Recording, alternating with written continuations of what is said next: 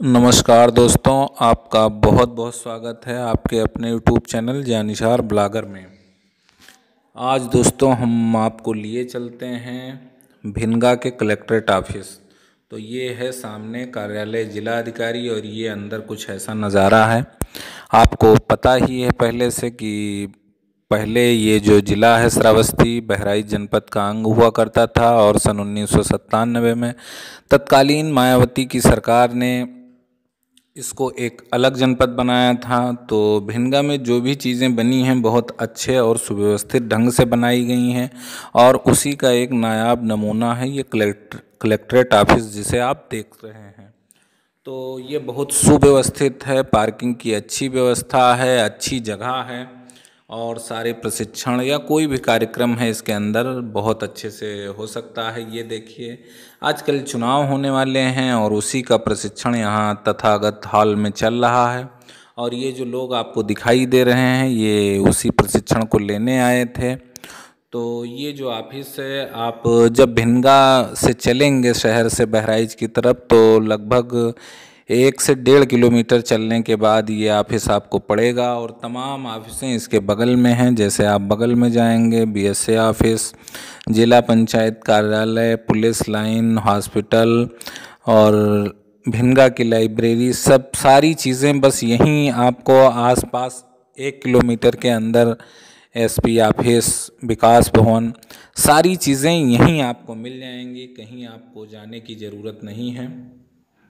तो ये बहुत सुव्यवस्थित ढंग से बनाया गया है, इसे आप देख सकते हैं। और अगर आप बहराइच की तरफ़ से आ रहे हैं तो हाईवे पर ही ये बहराइच से लगभग तैंतीस किलोमीटर की दूरी पे आपको पड़ जाएगा। और यहाँ आने के लिए भिनगा से ऑटो वगैरह चलता है, आप पहुँच सकते हैं। और बस से या किसी भी चीज़ से बिल्कुल रोड पे बना है, आप आसानी से पहुँच सकते हैं। तो आपको ये वीडियो कैसी लगी कमेंट बॉक्स में ज़रूर बताइएगा। और ऐसी ही बहराइच और श्रावस्ती की वीडियो देखने के लिए हमारे चैनल को ज़रूर सब्सक्राइब करें। आप लोग वीडियो तो देखते हैं, लेकिन चैनल को सब्सक्राइब करना भूल जाते हैं। और जब आप हमारे चैनल को सब्सक्राइब करते हैं, उससे हमें कुछ हौसला मिलता है और हम आपके लिए नई वीडियो लेके आते हैं। तो दोस्तों, आप इस चैनल को ज़रूर सब्सक्राइब कर लें और सब्सक्राइब करने के बाद जो घंटी वाला बटन दिख रहा है, उसको दबाना ना भूलें। उससे आपको मेरी हर वीडियो की अपडेट आपको मिलती रहेगी, जो भी वीडियो आई है। और कुछ इस तरीके से दिखता है, आप देख सकते हैं कितना खाली जगह है। और ये है बाहर वाला गेट। यहाँ से आप बाहर जा सकते हैं। गाड़ी आप अंदर ला सकते हैं। कुछ कारणों से कभी कभी इसको गाड़ी को यहीं रोक लिया जाता है। देखिए कितने पुलिस वाले बैठे हैं चूँकि अंदर प्रशिक्षण चल रहा है और इसीलिए ये वाहनों को यहीं रोक दे रहे हैं। फिर भी आम दिनों में आप अंदर आ सकते हैं। कोई ऐसी दिक्कत वाली बात नहीं है।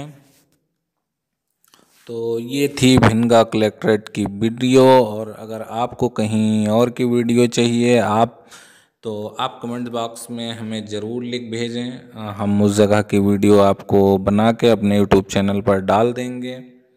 और अब अगली मुलाकात होगी अगले वीडियो में। तब तक के लिए नमस्कार दोस्तों।